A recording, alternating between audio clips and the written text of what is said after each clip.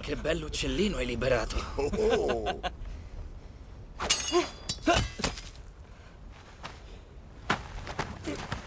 Chi sei e perché eri rinchiusa in questo carro? Lost! Scozzese, come immaginavo. Scozia.